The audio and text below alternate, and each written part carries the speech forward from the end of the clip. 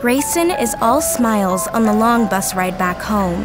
His basketball team just demolished their rivals, the Southtown Seagulls, and Grayson had made it a point to embarrass them.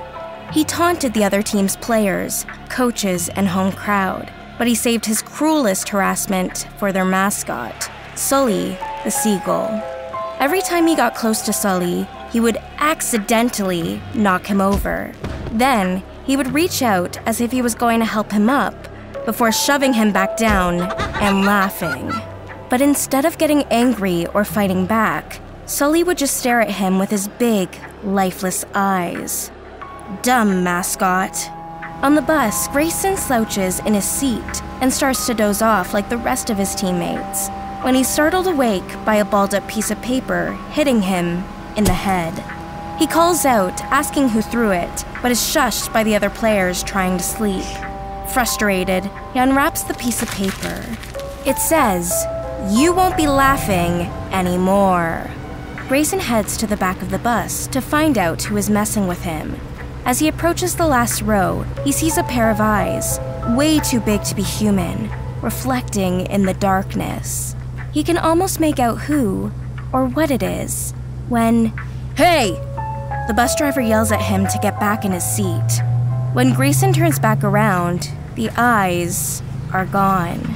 Reluctantly, he heads to his seat. His sleepy teammates give him dirty looks as he passes, mad that he woke them up. Back in his seat, Grayson tells himself that the eyes were just a trick of the light, or a reflection, or something. And the message on the paper was just a teammate's prank. With that thought, he starts falling asleep. When another paper ball hits him, he gets up on his seat and yells, but is met by a chorus of teammates telling him to be quiet. Fuming, Grayson unravels the paper. This time it says, Look in your bag. Ha, ha, ha. With trembling fingers, Grayson opens up his duffel bag to find his sneakers and jersey ripped to shreds. Grayson seethes with fury and sneaks to the back of the bus to find out who did this. There, in the last row, Grayson again sees those two big, reflective eyes. He gets closer and closer and realizes exactly who has been terrorizing him. It's Sully, the seagull. Grayson's jaw drops, and he demands to know what the rival mascot is doing on his team's bus. But Sully just stares at him with his big, empty eyes. Grayson is red with fury and starts threatening it. But the mascot still says nothing. Grayson has had enough. It's time to see who is underneath the costume. He grabs the mascot's head and, with a yank, pulls it off. But there is nothing underneath. Grayson stumbles to the ground in horror. The headless mascot gets up and reaches a hand out to Grayson, who is on the verge of tears. He tries to get up and run, but Sully just shoves him back down. Sully offers again to help Grayson up, but when he tries to get up, Sully pushes him down. He hears one of his teammates shout, Hey, look! Grayson is crying!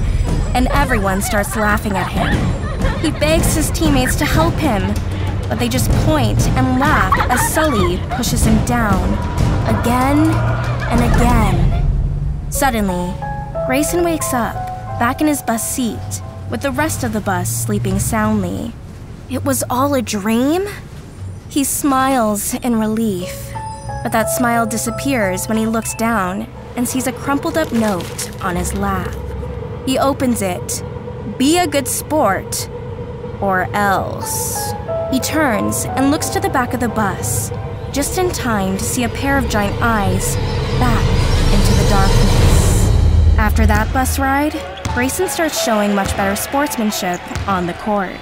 No matter how bad the other team is, he always treats them with respect. And he never, never makes fun of the mascot.